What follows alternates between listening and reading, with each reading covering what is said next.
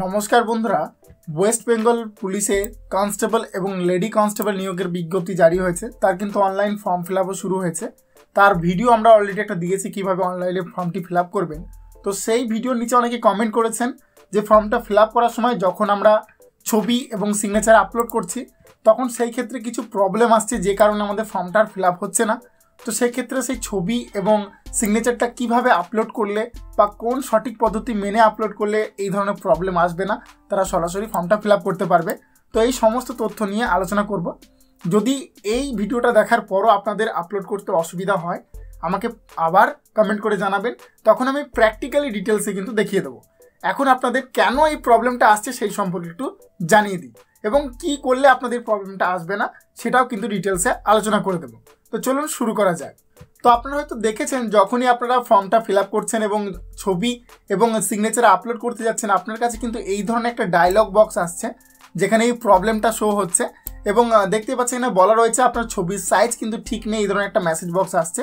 বলা হচ্ছে দশ কেবি থেকে পঞ্চাশ কেবির মধ্যে আপনার ছবির সাইজ হতে হবে।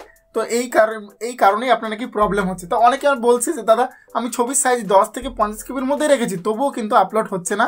বা আপলোড করতে গিয়ে এই ধরনের সমস্যা আসছে। তো এই সমস্যার সমাধান কি? তো প্রথমেই জানি রাখি এর কিন্তু সঠিক কিছু পদ্ধতি রয়েছে। যে পদ্ধতিগুলো যদি অবলম্বন না করা হয়, তাহলে কিন্তু ছবি আপলোড করতে গেলে এই প্রবলেমটাই বারবার আসবে। তো সেই সমাধান সম্পর্কে আজকে আমরা জানব। তো প্রথমেই জানিয়ে রাখি ছবিটা কিন্তু সরাসরি একটা নির্দিষ্ট মাপ দেওয়া হয়েছে। তো সেই মাপটা এখানে দেখবেন সরাসরি বলে দেওয়া হয়েছে।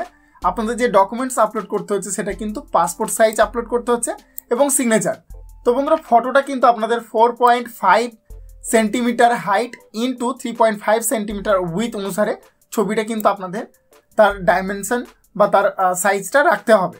এবং সেই অনুসারে আপনার ছবিটা রাখবেন এবং ছবির মধ্যে কি কি প্রবলেম থাকলে আপনার ছবিটা কিন্তু নেবে না, সেই সম্পর্কে এবার একটু জেনে নেব।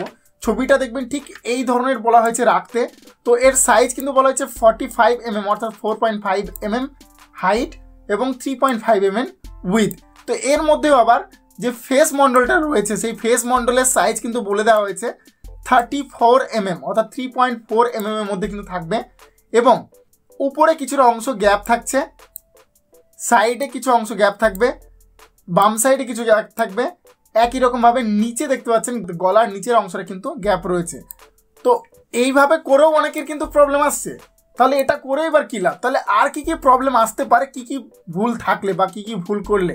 তো সেটাও এখানে কিন্তু বলে দেওয়া হয়েছে। আপনি যখন ফটোটা তুলবেন, তখন কিন্তু সেটা রিসেন্ট ফটো হওয়া চাই এবং সেই সঙ্গে আপনাকে কিন্তু অবশ্যই ক্যামেরার দিকে তাকিয়ে থাকতে হবে এবং without anything covering the space আপনার কিন্তু ফেসের মধ্যে কোনো কিছু পড়ে থাকলে হবে না। In clear contrast to background এবং ব্যাকগ্রাউন্ডের মধ্যে কোনো ছোপ, দাগ টাগ ইত্যাদি কিন্তু থাকলে হবে না। একজন সাদা ফ্রেশ যেন হয়ে থাকে, কারণ ব্যাকগ্রাউন্ডটা হোয়াইট চাওয়া হয়েছে। এবং সেই সঙ্গে বলা হয়েছে উইদাউট এ হেড কভারিং আপনার মাথাতে যেন কোনো কভারিং করা না থাকে, অর্থাৎ কোনো কিছু যেন পরিধান করে না থাকেন, সেই সঙ্গে আপনার চোখ খোলা রাখতে হবে, খুব ভালোভাবে তাকাতে হবে এবং যেন কোনো ছবির ওপর রেফ্লেক্ট না আসে, সেটাও কিন্তু খেয়াল রাখতে হবে। এবং আপনি কিন্তু চোখে কোনো রকম সানগ্লাস পরতে পারবেন না বা চোখে কোনো রকম আপনারা যে লেন্স, সেই লেন্স কিন্তু পরে থাকতে পারছেন না। কারণ এগুলি পরে থাকলে কিন্তু আপনার ছবি রিজেক্ট হবে। এবং সেই সঙ্গে আপনার ছবির মধ্যে যদি আপনার চোখের কালার রেড কালার হয়ে যায়, সেক্ষেত্রেও কিন্তু প্রবলেম আসবে। আবার যদি শ্যাডো আসে, সেই শ্যাডোর ক্ষেত্রেও কিন্তু ছবিটা আপলোড নেবে না। তো এগুলো কিন্তু ভালো করে খেয়াল রাখবেন।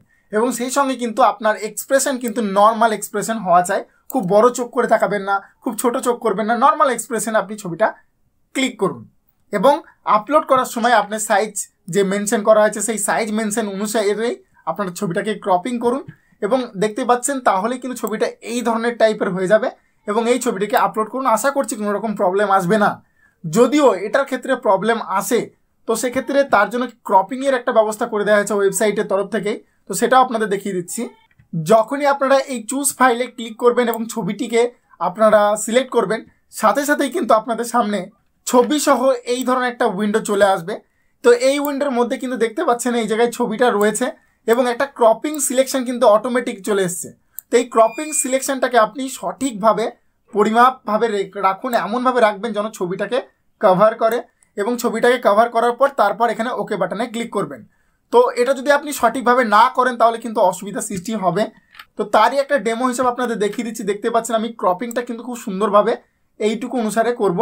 আমি এটা বেশি দেখিয়েছি তার কারণে, বা ডেমোতে এটা বেশি দেখানো আছে তার কারণ, এটার যে ডাইমেনশনটা আছে ডাইমেনশনটাকেও ধরে দেওয়া হয়েছে তাই। বাট আপনি কিন্তু শুধুমাত্র ছবিটাকেই নেবেন এই ক্রপিংয়ের মধ্যে। নেওয়ার পর আপনি কি করবেন? এখান থেকে দেখতে পাবেন টিক মার্ক রয়েছে এবং টিক মার্কে ক্লিক করে আপনাকে ওকেতে ক্লিক করতে হবে। আই থিঙ্ক এরপর কোনো প্রবলেম আসবে না। যদিও আসে আমাকে কমেন্ট সেকশনে কমেন্ট করে জানাবেন। আশা করছি এর সমাধান আমি ভিডিওর মাধ্যমে আবার আপনাদের কাছে পৌঁছে দেবো। এখন কোয়েশ্চেন হলো সেম প্রবলেম কিন্তু সিগনেচারের ক্ষেত্রেও আসছে। তো ফটোগ্রাফের ক্ষেত্রে তো আপনাদের বলেই দিয়েছিলাম যে সাইজ দশ কেবি থেকে পঞ্চাশ কেবির মধ্যে হতে হবে।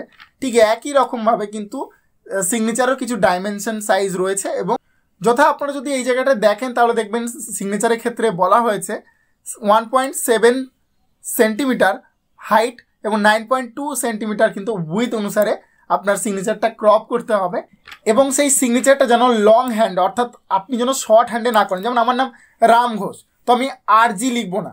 কি করব? রাম ঘোষ পুরোটাকেই অ্যাজ এ সিগনেচার রাখব। তো আপনাকে বলা হচ্ছে লং হ্যান্ডে কিন্তু আপনার সিগনেচার করতে কোনো রকম শর্ট ফর্ম সিগনেচার আপনারা করবেন না। যদি করে থাকেন তাহলে কিন্তু আপনার রিজেক্ট হওয়ার চান্স অনেক বেশি। এবং আপনার যে সিগনেচারটা দেবেন, সেই সিগনেচারের কিন্তু যে সাইজ সেটা বলা হয়েছে পাঁচ কেবি থেকে কুড়ি কেবির মধ্যে কিন্তু রাখতে হবে। তাহলে আপলোড করলে আপনাদের কোনো রকম প্রবলেম আসবে না। তো বন্ধুরা, আশা করছি আজকের এই ভিডিওটির মাধ্যমে আপনাদের হেল্প হবে এবং আপনাদের যে প্রবলেম বা যে সমস্যা হচ্ছে ফর্মটি ফিল করতে গিয়ে তার সমস্যার সমাধান হতে চলেছে। যদি না হয়, আমাকে পুনরায় কমেন্ট সেকশনের মাধ্যমে কমেন্ট করে জানান। আমি এর উপর পুনরায় একটি অ্যাজ এ প্র্যাকটিক্যাল ভিডিও কীভাবে আপনারা ক্রপ করবেন, কোন সফটওয়্যার দ্বারা করবেন, কীভাবে কত ইঞ্চ মাপ ছাড়বেন, ধরবেন, সমস্ত কিছু দেখিয়ে দেবো, ঠিক আছে? তো চলুন, মিলবাবার একটা ফ্রেশ ভিডিওর সাথে, ততক্ষণের জন্য বাই জয় হিন্দ, বন্দে মাতারাম।